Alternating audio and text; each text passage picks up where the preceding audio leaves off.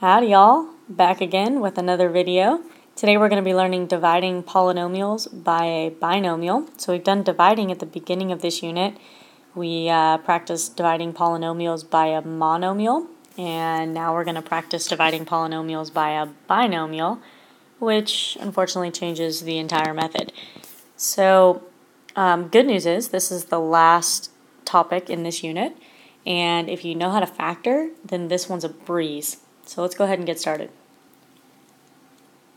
Of course, we start off with some steps here. So step one, you're going to factor the numerator. So the numerator, that's going to be the top portion here.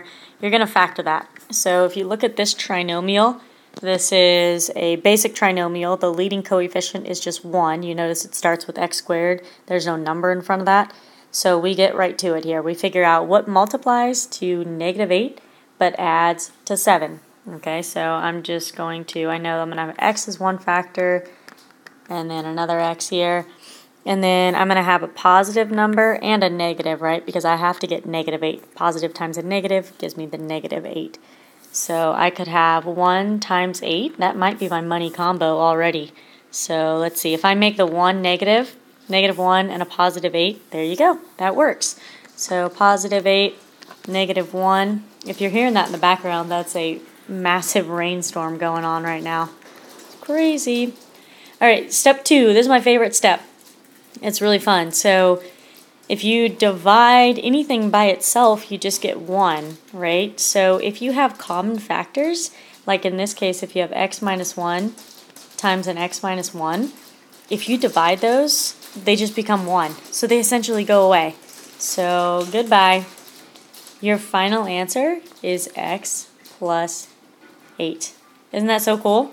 So you're just left with that. Okay, let's practice a few of these. So number one, you are going to factor the numerator here.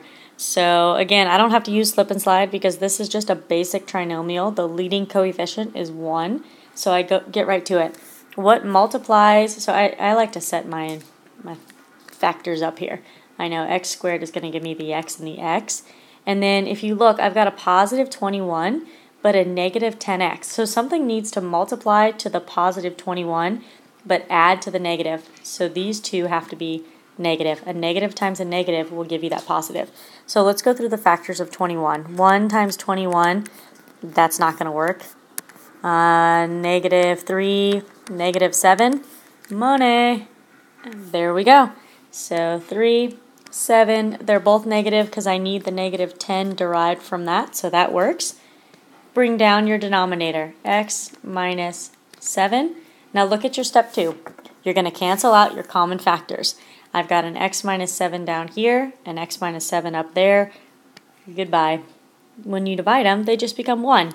So x minus 3 times 1 is just x minus 3. You don't need to put that in parentheses. I don't know why I did. It's not wrong if you do but it's just unnecessary. All right, so I, I am skipping around here because I want to show you guys different types of factoring problems because there's a, they're all mixed throughout um, throughout these notes here. So when I look at something like number three, I don't have a trinomial anymore, right? So you have to recognize what kind of factoring problem this is. First of all, you're always looking for a GCF. If there's no GCF, you get right to factoring. So what I recognize here is a difference of perfect squares. So I'm going to factor this out to be, nope, I don't need to do it up there, to be y plus 5, y minus 5. Remember you take the square root of both of these, and that's how you get that. And then bring down your denominator, y plus 5. Step 2, my favorite step, goodbye. All you're left with here is this guy y minus 5. All right, number four, again, I'm skipping around because I want to make sure I do one of each type of problem here. So if I look at the numerator, I don't know what I have here. I don't have a trinomial, but I also don't have a difference of perfect squares. So first of all, let's look at our GCF. Do you have a GCF? And, and in here you do, right? You can take out a 2x. So 2x when I take a 2x, let me write it out here. So I have 2x squared plus 16x. find that GCF and take it out. So 2x, 2x. That goes away. I'm just left with an x. And then this becomes 8, and those x's go away, plus 8. Check it out. We're left with that x plus 8. That's perfect. Divide it all by the denominator. Step 2, my favorite, goes away. Your final answer here is just this 2x. Ooh, that rain is coming down. You guys can probably hear it in the background. All right, so number 5, we have a trinomial. There's no GCF. So guess what, guys? We are going to slip and slide here. So circle him, slip him over, rewrite him right there. He goes away here. First of all, you don't care about that denominator at all right now, so you could just kind of make that go away and focus on what you need to factor in the numerator. Bring down that basic trinomial here. So x squared plus 5x minus 24. Remember, you need to come back to this guy. So put a square around him, star him, do something that remember that helps you remember. You got to come back to him. Factor this basic trinomial. So x is going to be one of my factors, or those are the factors of x squared.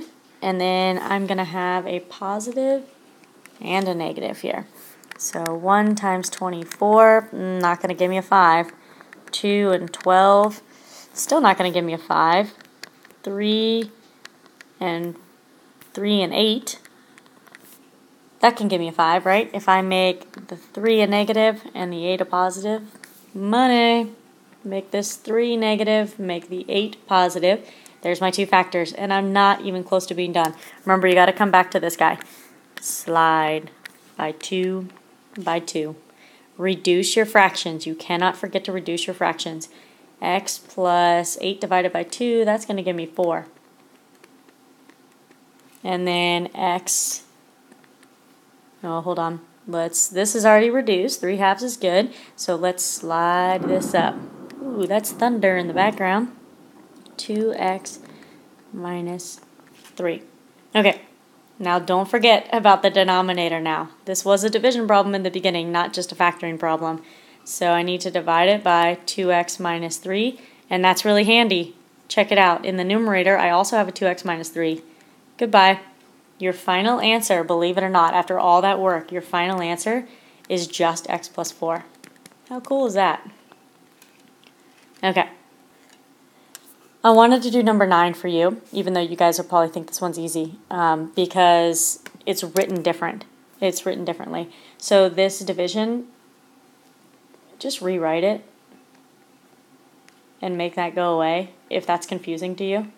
It's, it's confusing to me. I don't know why they do it like that, but sometimes they do. And on the SOL, they might do that. So I want you to recognize that this is the same thing. Okay, so rewrite it like I did if you want. You can put this in parentheses too if you need to. It doesn't matter.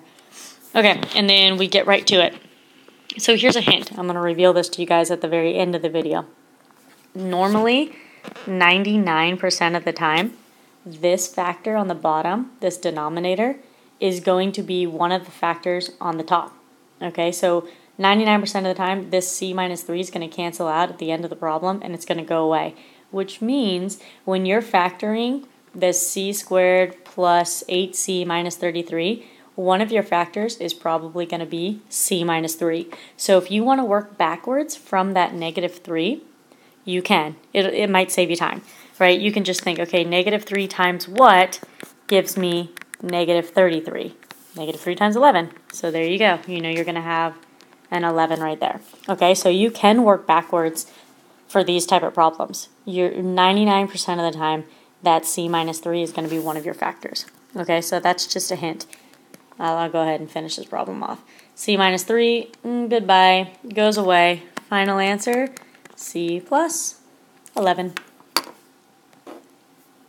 All right, that was kind of a short video went by way too fast for me. Anyway, I hope you guys enjoyed. I enjoyed making this video. I apologize for the lightning and thunder in the background. My dog is literally hiding in the fireplace right now, totally freaked out. It's really coming down out there. All right, let me know if you have any questions. Finish all those notes, please. Bye.